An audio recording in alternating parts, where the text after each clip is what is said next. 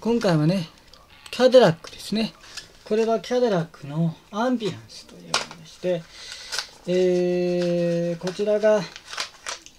まあ、キャデラックアンビランスの、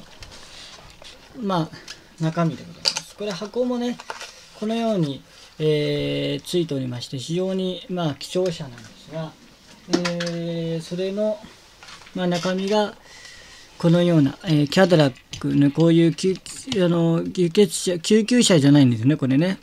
日本製で救急車みたいですけど、これは輸血仕様の車で、要するに血液が足りない人とか、まあそういったところにですね、病院から病院にこう、まあ、命が関わるので、一刻も早く届けなきゃいけないんですね。で、そういう時に、まあ、その輸血を、まあ、届けたり、あるいは心臓が弱い人から心臓の、まあ、人に移植をしてもらうと。で、そういう時に、まあ、活躍する車ですね。まあ、なかなかこういった車というのも、